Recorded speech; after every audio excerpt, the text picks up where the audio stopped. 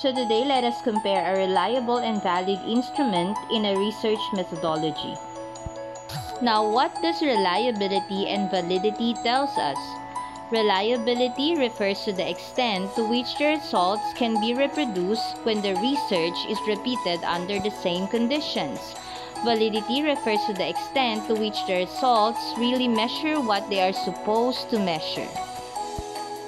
Now, how do we know whether it is valid and reliable? Under reliability, it is by checking the consistency of results across time, across different observers, and across parts of the test itself. In validity, it is by checking how well the results correspond to established theories and other measures of the same concept. What is the relationship between the two? Remember that a reliable measurement is not always valid. The results might be reproducible, but they're not necessarily correct. A valid measurement is generally reliable. If a test produces accurate results, then they should be reproducible. Reliability refers to how consistently a method measures something.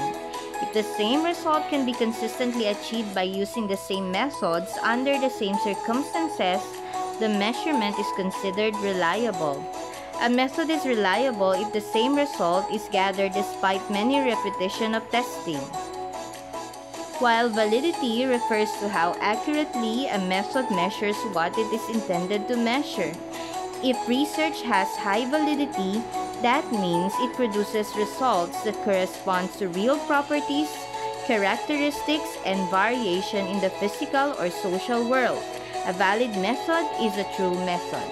Remember this, a reliable method is not a valid method, but a valid one is automatically a reliable one.